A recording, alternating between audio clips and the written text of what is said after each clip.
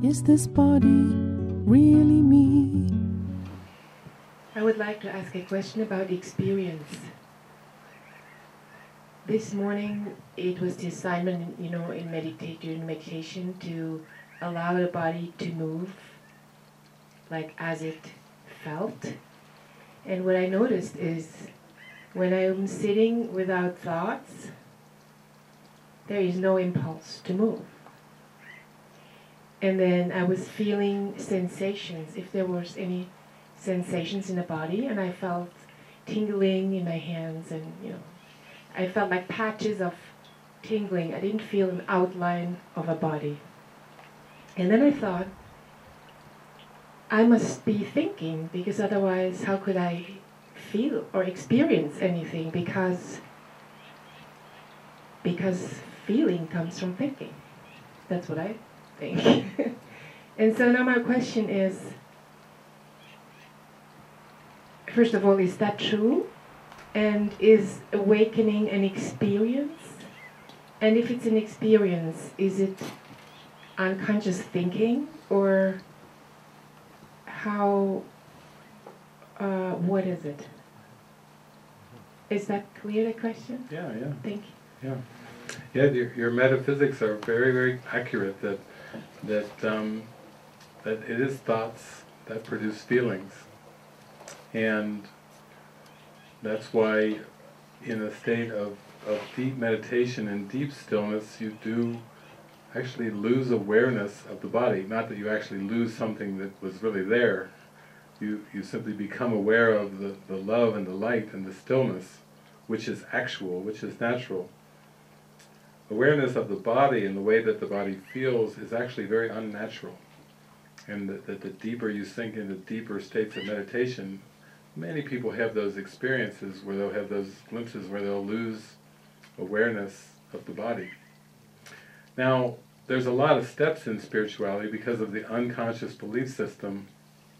And sometimes when the mind gets so caught up into intellectual defense mechanisms and you know, it's not so much, you can't categorize it as like left brain and right brain, uh, or the head and the heart. Those are very simplistic kind of uh, generalizations, and you can't, they're really, they only take you so far, because, you know, there's nothing special about a heart or, or a head, and actually thinking does not occur in the head.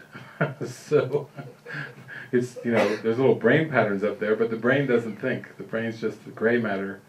The mind is not the brain, and on and on and on. Uh, but but actually, when you when you have used a denial mechanism of getting caught up into intellectual ideas, into concepts, um, and we'll even say numb out. You know, sometimes part of intellectualization is just to kind of numb out. That actually a step in the right direction can be to feel, feel the feelings and feel what seems to be going on with the body. When it's been like a numbing condition, that's a step in the right direction to start to feel it. There are no memories in the body. Uh, there, the body is not autonomous in any way. It, it doesn't have like Candace Pert, you know, each cell has its own individual consciousness. That's as ridiculous as each body has their own individual consciousness, which I was talking about at the movie last night. But everything about the body is just a projection. And you may go through phases where you're you're guided to actually start to get in touch with feelings, and it's it can be the body can be used in that way too, as part of the awakening. But then the deeper you go, you can go into these deeper states where Jesus actually says this in the workbook. He's when he's talking about this deep stillness and meditation. You can tell you've practiced well by this, he says. The body will not feel at all. Wow, that's coming from the master. You know, if you take it all the way out and you keep working with this, you won't, the body won't feel at all. Because in fact, the body has never felt. It's just a projection of the mind that the body can seem to feel. Uh, that's part of the trick of the minds and the ego staying hidden, is it, it projects the feelings even out to the body. And then you go inward in the whole other direction and, and you actually reach these still states where there's no feeling whatsoever. Not a good feeling or a bad feeling, it's just gone. and those that's making those inroads.